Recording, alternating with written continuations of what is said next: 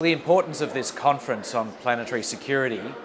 is the urgent need to deal with the accelerating issues of an increasing population, uh, of growing wealth and increasing consumption of natural resources and environmental degradation. This year, 2015, is the critical year when government leaders will gather in Paris. And so it's vital to have a conference like this that informally brings together people from uh, different uh, national governments, uh, from different areas of expertise, to try and identify some uh, positive solutions uh, on the way forward.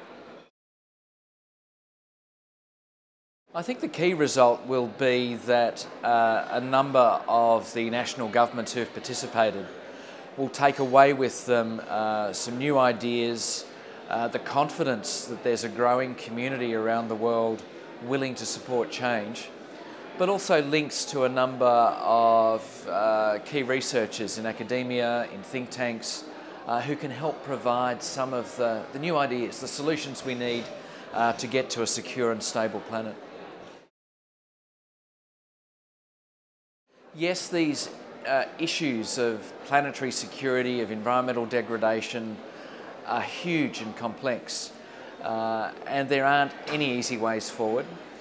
To my mind, the way to move ahead is to identify uh, a small number of the key issues, uh, to try and make concrete change in those areas, but to do so in a way that makes sure that when we do something positive in one side, like uh, reducing greenhouse gas emissions, doesn't cause damage on the other side. But to explain that to the public is terribly complex, uh, a challenge we all face.